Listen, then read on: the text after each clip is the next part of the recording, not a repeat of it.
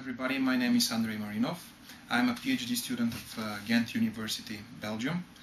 Uh, our group is a member in CMS since 2007. It's uh, quite a new member, uh, but we are very active in all this pro pro process. Uh, we are working on RPC commissioning at the moment. Also, we are searching for supersymmetry. We are doing physics analysis and uh, also we are busy with the top quarks and of course it's a high-level trigger study. Uh, it's nevertheless I can say that I'm extremely happy that I'm a part of this group. Uh, the group is really really um, in a very high level and um, that's it. so, so what does your work with the trigger study and the RPCs actually involve?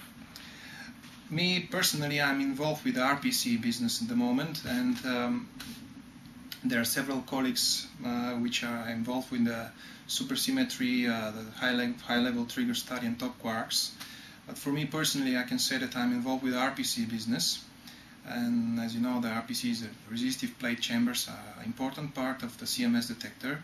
They're part of the trigger, uh, specialty end caps, and uh, they can uh, give us information very fast uh, when and uh, where we have we have an event, an interesting event like muon, uh, which I think that the CMS detector will work much more efficient with RPCs if they work well. So now that the um, experiment is closed again and the magnet is about to be warmed up again, what will your work in the next few weeks, months, years be involving? Yeah, up, up, to the present moment, I was involved with the RPC commissioning. It means we were preparing the chambers for the start of LHC. Um, for the moment, mostly, I mean, 99% of this work is done, and uh, I think we are in really very, very good shape. We are the best shape, actually, for the moment.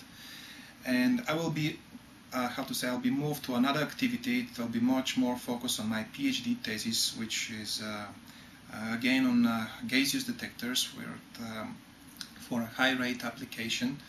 Uh, for example, these are micromegas and GEMS, which is a very interesting field for me. Um, yeah, and actually these days I'm really starting doing this business. Okay, and so are you wor- you're working on upgrades and? Yeah, in for uh, so Ghent Group is in, will be involved for uh, for the upgrade of uh, the end caps. In the future, we if CMS decided uh, we need uh, to do upscope for the chambers, uh, uh, we, have to build the next RE4.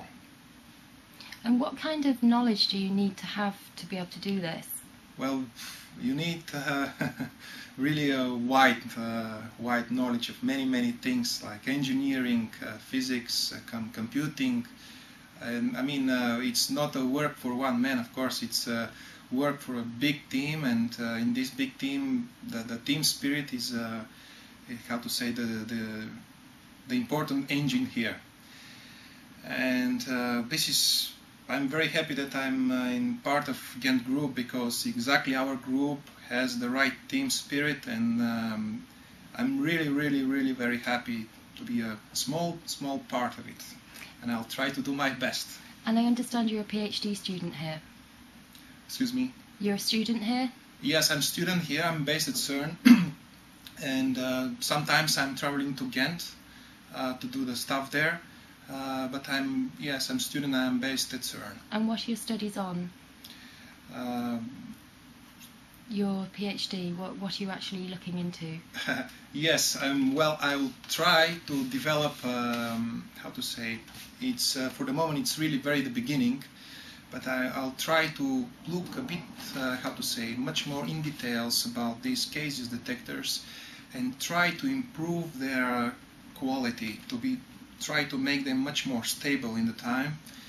Um, in the viewpoint of many parameters like uh, high voltage consumption, etc., and try to make them a bit easier to operate with them and uh, to work with them. And what would be a sign of success for you? What would be a sign of the general experiment success and your personal success? Well, my personal success will be if I, there are common things. There are two two things going to one point. I will be extremely happy if I see CMS working, um, uh, really working on the, the way like it was designed, and we start taking nice data. Also, I will be extremely happy to see LHC working.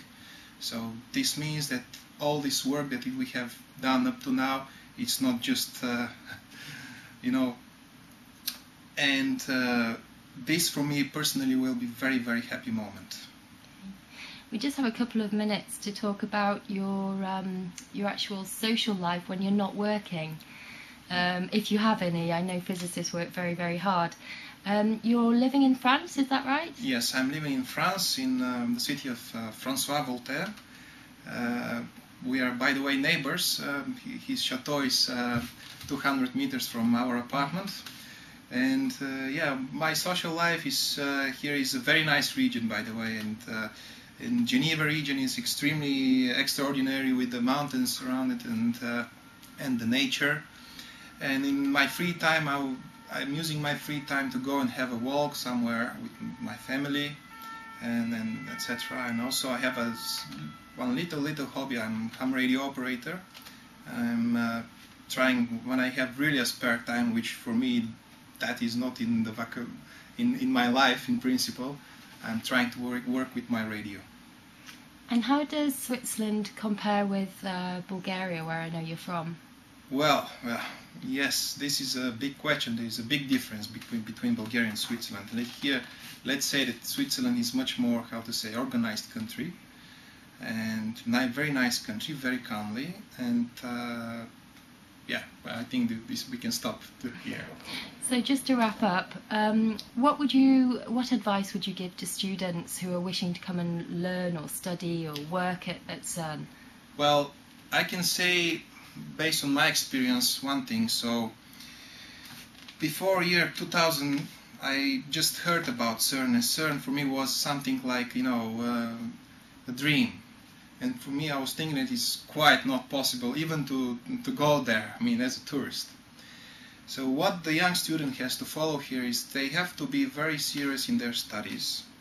They have to try to, to learn the things, I mean to fight with the problems and, and learn the things in parallel and they just keep, they have to keep following their, their dreams. That's enough. That's great, Andrey. Thank you so much for your time and sharing your experiences. Thank you. Bye.